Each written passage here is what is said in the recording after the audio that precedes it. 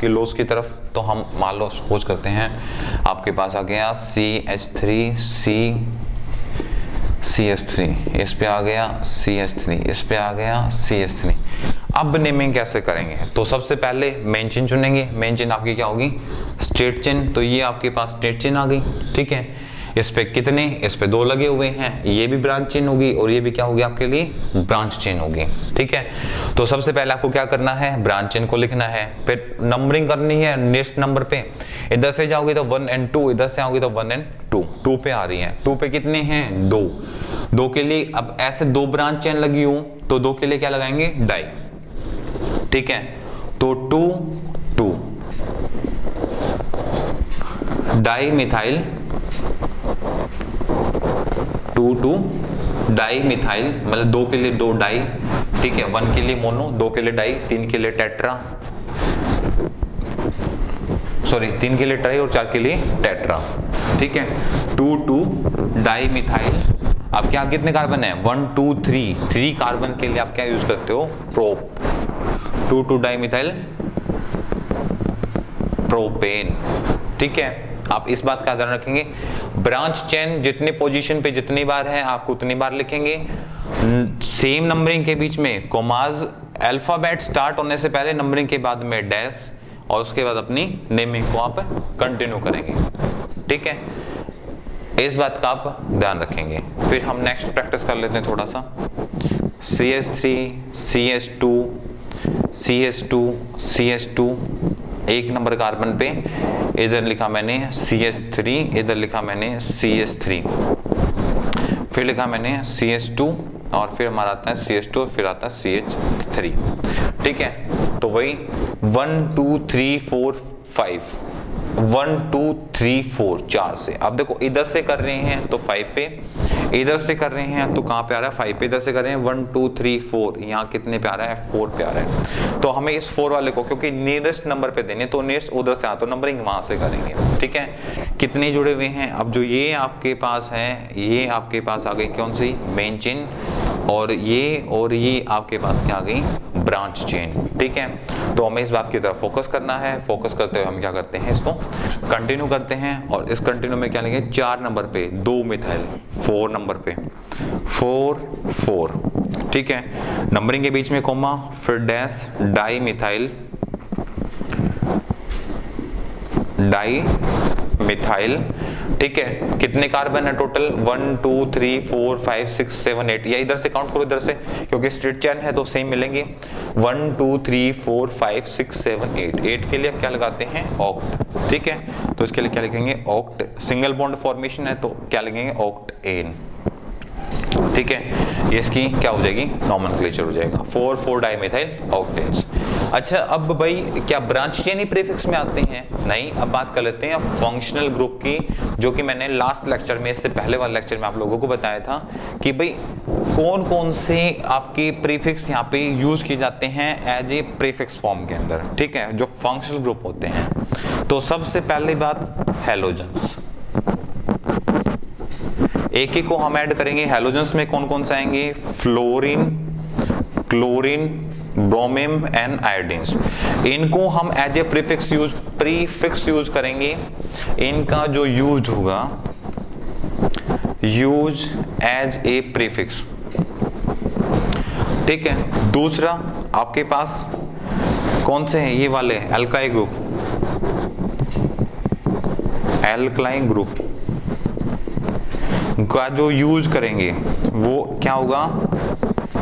Use as a prefix इसका जो use करेंगे, वो हम एज ए प्रीफिक्स यूज़ करेंगे। अच्छा इनके अंदर भी जो पोजीशन होगी, इसमें एक बात का ध्यान रखेंगे? इफ़ आप एक रिमाइंडर पॉइंट डालेंगे इसके अंदर, ठीक है, मैं लिख देता हूँ वैसे भी, कि वो आपके लिए बड़ा इंपॉर्टेंट काम आएगा। अब उस उस पर फिर हम प्रैक्टिस करेंगे और प्रैक्टिस के साथ साथ हमें इस बात का ध्यान रखना है। ठीक है? प्रैक्टिस के लिए हमें आप लोगों को लिख देता हूँ, ये आपको हमेशा नोट डाउन करके रखना है, ठीक है? और जब जब नॉर्मल क्लेचर आप करेंगे तो इस पॉइंट को सबसे पहले रिमाइंडर कर लेंगे, ठीक है? If same group of carbon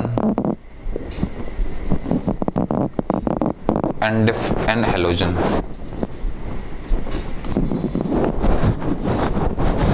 attach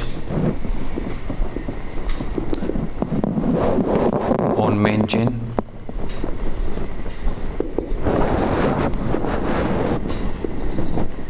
Use as a alphabetic. Alphabetic order for IUPAC naming भाई, जब भी आप आईपीएस नेमिंग करोगे तो ध्यान रखना, जब एक ही ग्रुप के एलिमेंट जैसे एक ग्रुप कौन सा? जैसे हेलोजन वाला। फ्लोरिन क्लोरिन ब्रोमिनाइड ये आ गई। नंबरिंग किसकी पहले आ रही है, वो मैटर नहीं करता, पर अल्फाबेटिक ऑर्डर में कौन पहले आ रहा है, पहले आपको उसको लिखना पड़ेगा। इस बात का आप स्पेशली स्पेशली स्पेशली ध्यान रखेंगे।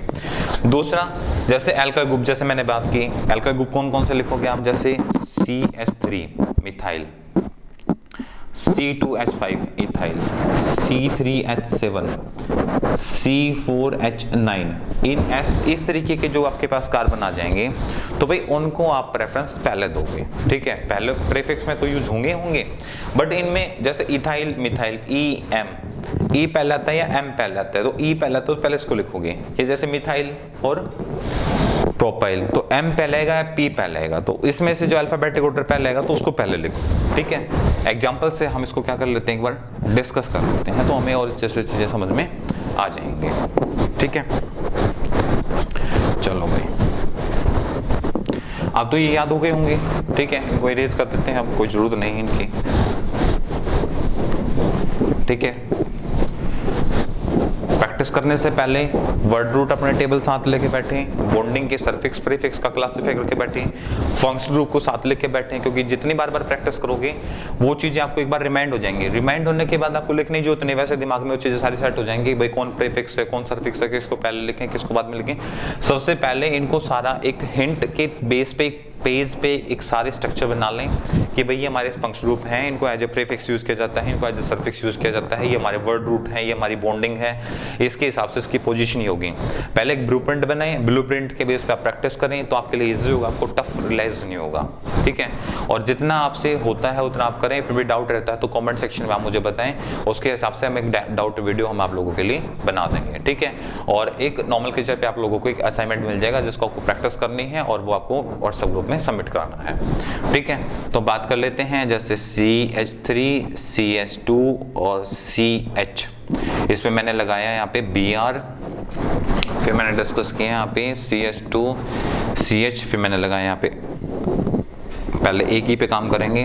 सी एच टू और सी एच थ्री हमने बना दिया।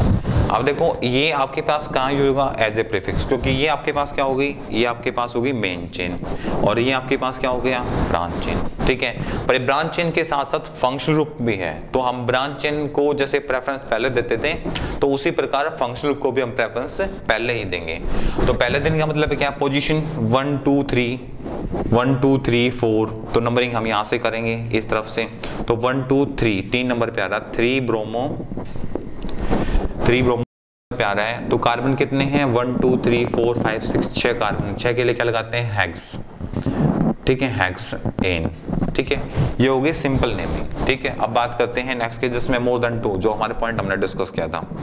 C S three C H जैसे मैंने इस पर लगाया C L C S two C S two C H B R C H two C H two C H two and C H three carbon chain जितनी लंबी बना सकते हो, जितने आपके पास नंबर ऑफ़ कार्बन होंगे, उतनी लंबी चेन बना लो कोई दिक्कत वाली बात नहीं है। अब देखो, यहाँ से नंबरिंग करता हूँ तो इसकी नंबरिंग आती है वन टू दो पे। Three four five one two three four five इसके आ रही पाँच नंबर पे। इधर से करता हूँ one two three four five इसकी सेम आ रही है फाइव नंबर पे सिक्स सेवन एट इसकी आ रही है एट पे। अब तो नियरेस्ट नंबर कौन से हुए? नियरेस्ट नंबर आप बताइए टू एंड फाइव हुए या एट एंड फाइव हुए? ठीक है? भाई फाइव या एट लें या टू एंड फाइव ले, कौन सा नंबर छोटा होगा? तो टू एंड फाइव छोटा होगा तो नंबरिंग यहाँ से करेंगे। अब इसमें नंबरिंग करता हूँ तो क्लोरीन पहले आ रहा है ठीक है? और क्या है? बी आर ब्रोमियम बाद में आ रहा है। ठीक है? अब इसके हिसाब से नंबरिंग करता हूँ तो ये दो नंबर पे इसको पहले लिखना चाहिए। पर ये दोनों क्या है? एक ही ग्रुप का एलिमेंट है, दोनों हेलोजेंस हैं। अब इन हेलोजेंस में क्या चलेगा? अल्फाबेटिक ऑर्डर चलेगा। अल्फाबेटिक ऑर्डर यूज़ करते लेंगे तो सबसे पहले हम इसको लिखेंगे, क्योंकि अल्फ़ाबेट में बी पहले आता है और सी बाद में आता है। तो ये कितने पे है? पाँच नंबर पे।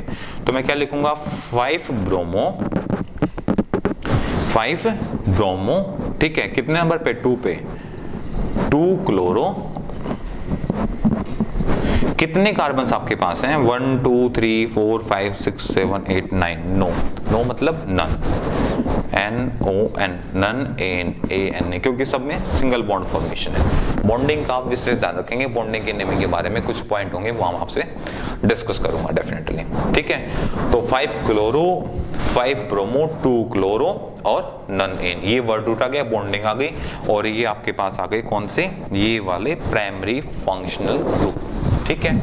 इस बात का आप ध्यान रखेंगे। फिर एक प्रैक्टिस और कर लेते हैं। ठीक है? हमने बात की C S three C H यहाँ पे आ गया मेरा, यहाँ पे आ गया मेरे पास, फिर सी एस थ्री यहाँ पे आ गया C S two C S two यहाँ पे आ गया मेरे पास C H C two H five यहाँ पे आ गया फिर C S two C S two and the C S three अब नंबरिंग करते हैं यहाँ से वन टू ये दो नंबर पे. Three four one two three four ये आ गया मेरा फाइव नंबर पे. सिक्स सेवन एट आठ कार्बन है. इधर से कहता हूँ वन टू थ्री ये आ गया यहाँ पे फोर पे फाइव सिक्स सेवन ये आ गया सेवन नंबर पे। अब देखो टू एंड फाइव लेके चलूँ, वो छोटा है, या फोर एंड सेवन लेके चलूँ, वो छोटा है, वो आप खुद समझदार हो कि टू एंड फाइव छोटा होगा। अब तो ये भी आपके पास क्या हो गया? देखो, ये वाले आपके पास क्या हो गई? That is a main chain ये आपके पास आ गई भाई मेन चेन ठीक है? ये वाला और ये वाला, दोनों आपके पास क्या है? प्राइमरी फंक्शनल ग्रुप ठीक है? जिसको ऑलरेडी रोल प्ले कर रहे हैं कि इसका ब्रांच चेन का भी ये ये लोग रोल प्ले कर रहे हैं, ठीक है? तो इसको लिखेंगे तो पहले मिथाइल आता है, इसको लगते हैं तो पहले इथाइल आता है। अब पहले किसको लिखूं? क्योंकि दोनों सेम ग्रुप के एलिमेंट हैं। देखो इथाइल आ जाता ब्रोमियम आ जाता तो डिफरेंट ग्रुप के एलिमेंट आ जाते हैं। अब यहाँ पे क्या है? सेम ये भी सेम क्या आ गई? और ये भी सेम क्या आ गई? तो उस कंडीशन में हम क्या कर सकते हैं? तो अल्फाबेटिक ऑर्डर यूज़ कर सकते हैं। अल्फाबेटिक ऑर्डर हम यूज़ कर रहे हैं। ये मिथाइल तो एम पहले आता है, ये इथाइल तो ई पहले आता है। तो पहले इसको लिखेंगे कितने नंबर पे? फाइव तो five ethyl two methyl five ethyl two methyl कितने कार्बन है? आठ। आठ के लिए क्या ओक्ट एन ओक्ट एन ठीक है? ये आपकी क्या हो जाएगी?